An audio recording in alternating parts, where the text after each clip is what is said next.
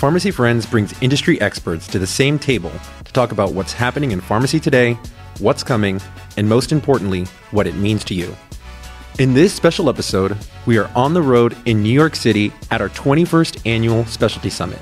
And I'm your special host, Jordan Almazan, Director of Clinical Strategy and Innovation, standing in for Miriam Tabatabai.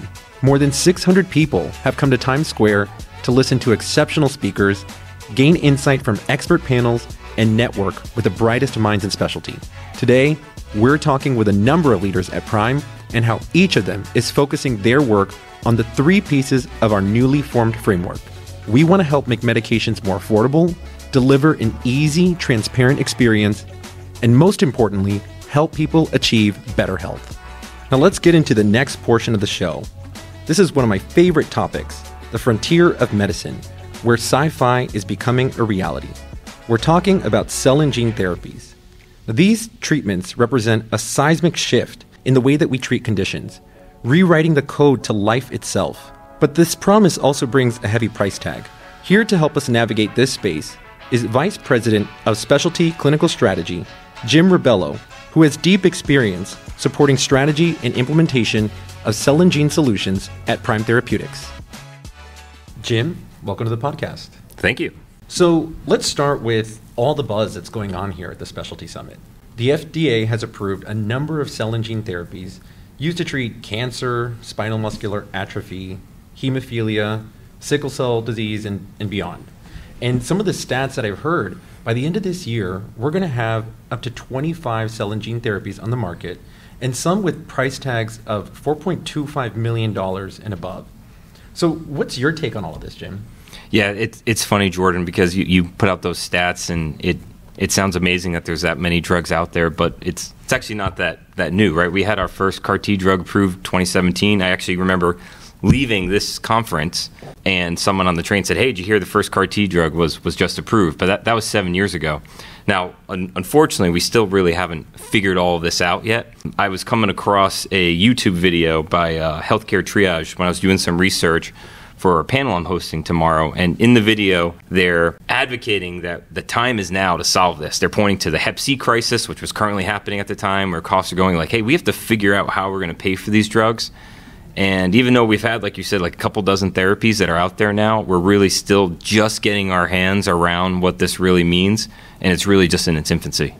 Yeah, absolutely. I, I am really getting an appreciation for the complexity in this space.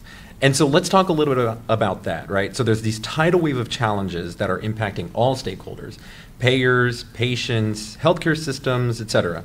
So in your view, what are all of these challenges? You and I were, were going back and forth about this just, just the other day, right? We think about cell and gene therapies compared to, I'll say, traditional specialty, right? We used to distinguish traditional from specialty. Now we have to distinguish specialty from cell and gene therapy. So even with specialty medications, which are very expensive, it's not that you just show up and you get this super expensive drug just one time, right? That that cost is spread out over the lifetime of, of the member while they're taking the therapy.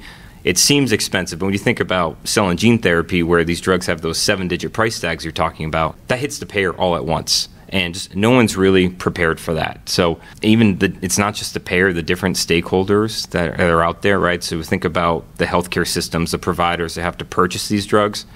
No one wants to have a $3 million drug just sitting on the shelf, right? A $50,000 drug sitting on the shelf is scary. So before you go and get that drug, you have to make sure am I going to get paid for this, right? So the members have to work with their their health plan, could be Medicaid, Medicare, commercial insurance, with the healthcare system, the providers to get all of that connected. And even though it's such a small amount of patients that are currently available to treat with these therapies, right now, unfortunately, it's taking a long time to get some of these members treated just because we haven't figured out that perfect system. Once we've identified the right patient, right, for the right drug, we can kind of get to that part. Now we have to figure, okay, well, how do we make $3 million come out for, you know, a, a, a self-funded group that only has 50 employees and now they have to figure out how they're going to pay for this. Yeah, absolutely. And there's a number of things that you touched on there. And I imagine there's a lot of ways that organizations are thinking about how we innovate in this space, right? It's almost like these new therapies are bringing an era of innovation in the managed care space. So let's talk a little bit about that. What are the ways that Prime is addressing these challenges, and what are some of the things that we've explored so far?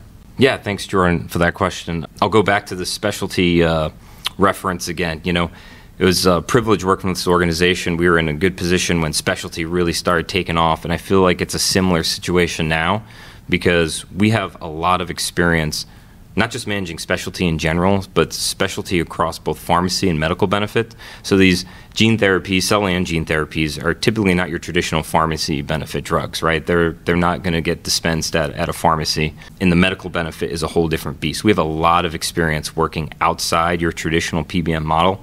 Now, I say that, but this is still very different from even your traditional medical benefit drugs, right? So we're we're still constantly doing research and learning, um, not just with the clinical management, right? That that used to be what everything was about, right? Just thinking about the clinical piece.